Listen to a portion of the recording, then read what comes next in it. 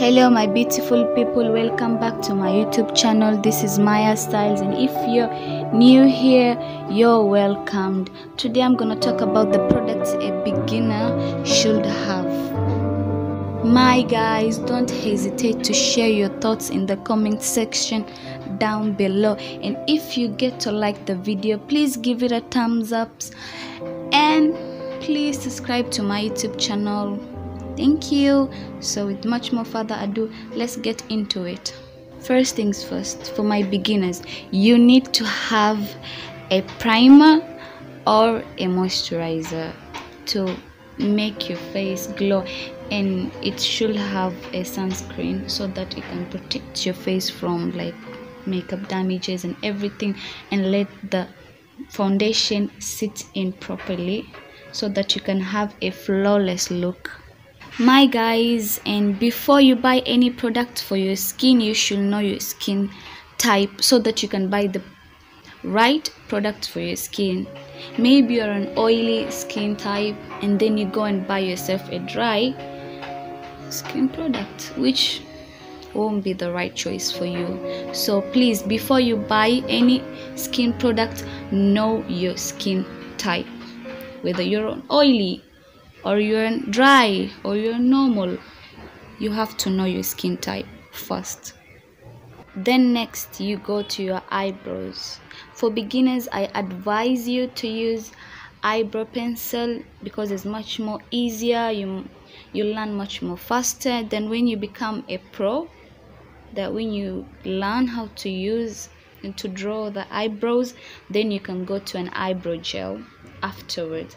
But first for the beginners i advise you to use the eyebrow pencil please then next you need to buy a concealer and a foundation. And when you're buying your concealer you have to buy a concealer which is two shades lighter than your normal skin. If you buy a concealer which is three or four shades lighter than your normal skin that won't be good. So you need to buy a concealer which is two shades lighter than your normal skin.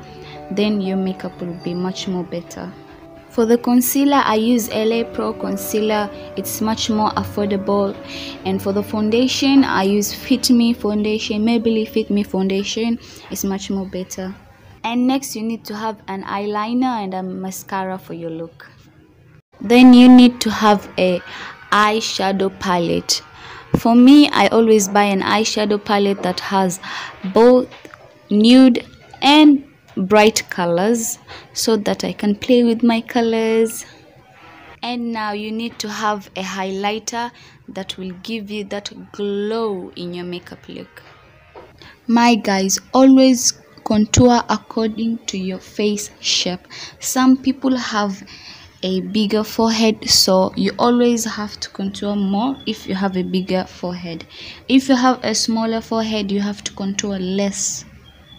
You feel me and then you need to have blushes to bring out the colorful look on your cheeks. And you need to have a loose powder to set in your foundation your concealer into your skin. If you want to get that essential effortless look you need to go in with the right tools which are the brushes and the sponge so that you can have a flawless look we are gonna finish with the lipstick. You need to have a red lipstick or a nude lipstick. Your choice. For those nights that you're so lazy to wake up and wash your face wipes will be your best friend. So you need to have a wipe to wipe off your makeup before you go to sleep my dear ladies. And thank you for staying tuned till the end.